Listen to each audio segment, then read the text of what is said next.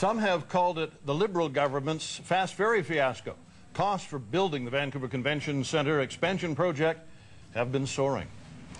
Today, the province finally announced what the final bill for taxpayers is expected to be. CTV's Mike Killeen has the story.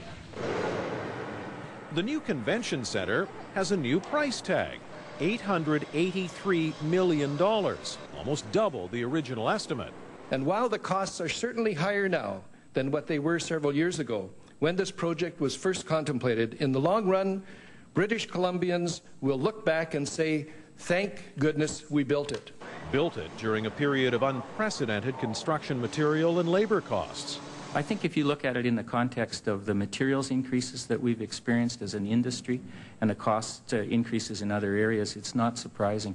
If the Premier had known that, he probably wouldn't have made this comment at the groundbreaking ceremony. And so it's going to be on time, on budget. And, and there's going to be lots of BC, wouldn't it? And if it's not? It's going to be on time, on budget. And if it's not? It's going to be. The NDP says it could have been if the government had negotiated a fixed price contract and had tighter control of the project. Well, what I've seen is yet another uh, display of clear incompetence and uh, mismanagement of this project. Even the construction industry says nailing down a fixed price deal for such a complex project would have been challenging. There'd be too much guessing, and when there's a risk, when there's guessing, you really raise your price pretty high in the construction industry. Now there's a fixed deal with contractor PCL to cover the rest of the budget and a completion date of March 2009. There's also this assessment about the overrun from the minister.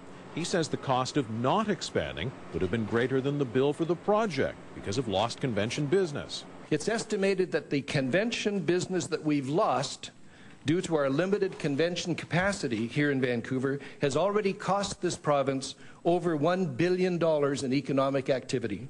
The first customers to use the new facility, the international media, here for the 2010 Games. Mike Killeen, CTV News, Vancouver.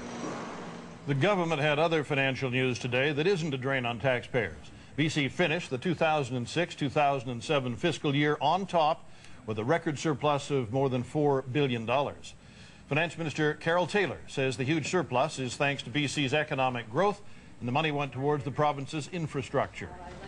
British Columbia, the economy of British Columbia, 3.6% growth, second highest in Canada, record surplus, 4.1 billion, uh, record infrastructure spending on our hospitals, schools and roads of 3.4 billion dollars, and we still are continuing to reduce the debt as well. So the NDP says the Liberals overlooked some of BC's priorities. We rank, according to the Progress Board, ninth in terms of social indicators, in terms of child poverty and things like that. And when we have a $3.5 billion surplus, we should be looking at how we can use that to alleviate uh, the problems around child poverty, for example.